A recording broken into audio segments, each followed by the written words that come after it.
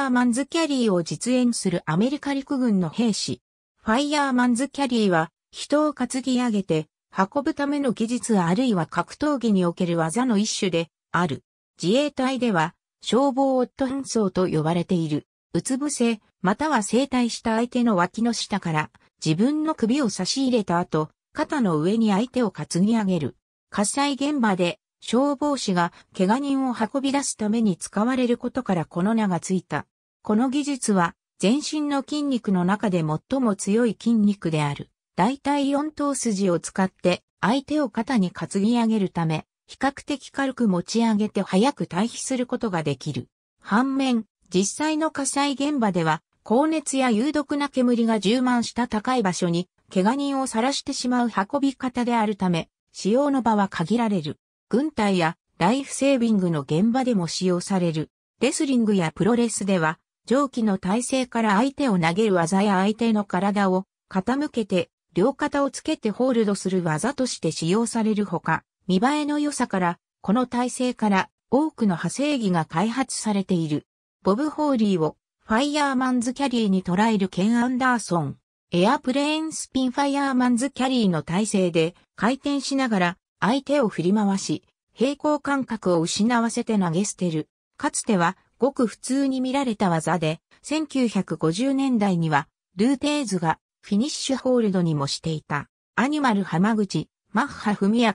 ドミニクで N チ、ディノブラボー、マイクロトンドなどが得意技としており、前世時のジャイアントババもつなぎ技として使っていた。近年は、大タイペイ、ジュース・ロビンソンが得意技としている。飛行機投げの和名は、ここから付けられた、バックフリップファイヤーマンズキャリーの体勢から後ろに倒れ込む。サモアンドロップの別名があり、ワイルド、サモアンズをはじめとするサモア系レスラーの得意技としても知られる。アブドーラザ・ブッチャーはバックドロップに近い体勢で放つ独自のバックフリップを山嵐の名称で用いていた。ジョージ・ゴーディエンコやアントニオ・猪木が使っていたブロックバスターは相手を正面から抱え上げてそのまま後ろに反り投げる別の技である。デスバレーボムファイヤーマンズキャリーから相手を脳天から垂直に落とす。三田悦子が死である北斗省のノーザンライトボムに触発されて開発。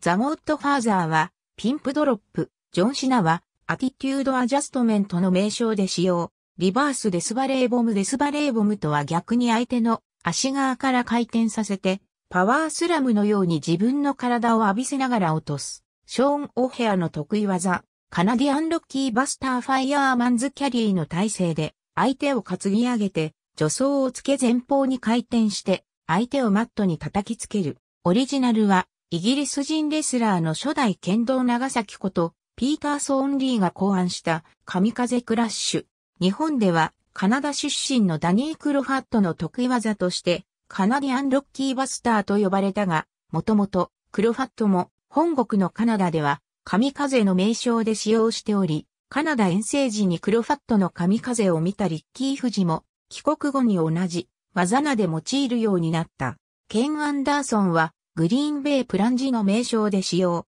ウェイストランド・ウェイド・バレットの初期の必殺技、ファイヤーマンズ・キャリーの体勢から相手の片手片足をつかみながら勢いよく前方に叩きつける上記カナディアンロッキーバスターの投げ捨て式、ハワイアンスマッシャーファイヤーマンズ・キャリーの体勢からダイヤモンドカッターに移行する技、太陽ケアの得意技、オリジナルは、マークメロの TKO、水田清隆は、不入、ドムの名称で使用、ハリケーンドライバー南條隼人が開発した、ファイヤーマンズキャリーから相手を横方向に旋回させて、みちのくドライバー2の形で落とす。太陽ケアは TKO、中邑真輔はランドスライド、ミラクルマンはミラクルツイスターの名称で使用。介護ファイヤーマンズキャリーから相手を横方向に旋回させて、フェイスバスターの形で落とす技。ブロックレスナーの得意技。WWE 退団後は、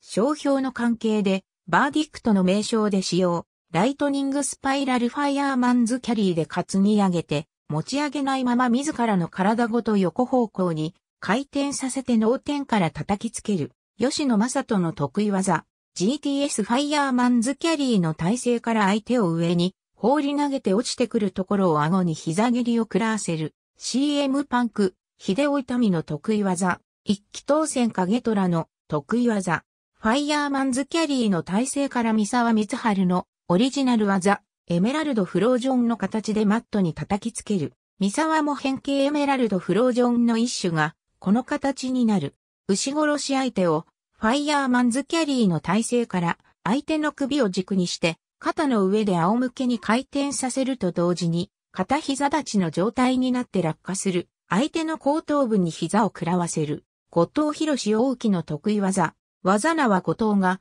猛牛のニックネームを持つ天山広吉を、この技で病院送りにして約1年9ヶ月にわたる長期欠場に追い込んだことが由来。WWE 移籍後の AJ スタイルズが同名で使用しているベナドリラーファイヤーマンズキャリーの体勢から相手を下ろした瞬間に右ハイキックを放つリコシェの得意技デトネーションキックファイヤーマンズキャリーの体勢から相手を上に放り投げて落ちてきた頭部にオーバーヘッドキックを放つ TJ パーキンスの得意技。ありがとうございます。